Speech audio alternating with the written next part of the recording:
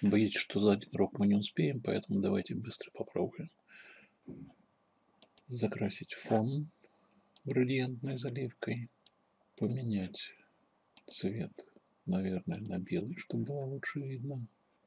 Нарисовать траекторию сглаженную, по которой будет двигаться наше приведение. Дальше такая операция. Линию выделяем, щелкаем правую кнопку и копируем. Снимаем выделение. Выделяем нашу фигурку, щелкаем правую кнопку. Таким вот образом. Пускай она будет в это время еще увеличиваться. Конечное положение будет такое.